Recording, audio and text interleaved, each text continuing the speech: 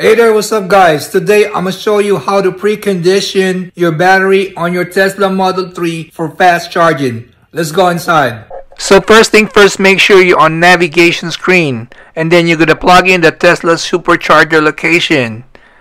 And then once that's in, up on top, okay, you're gonna see this thing comes up, the preconditioned battery for fast charging.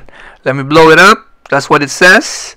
So what you're gonna do, you're just gonna push on that, and then you're gonna drag to the location. By the time you get there, the battery will be preconditioned, and you'll be ready to rock and roll.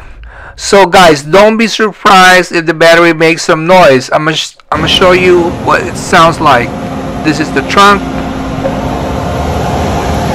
and then it's blowing air right at the bumper, right the front lip. So don't be alarmed okay? It's preconditioning the battery for fast charging. Like and subscribe. Thank you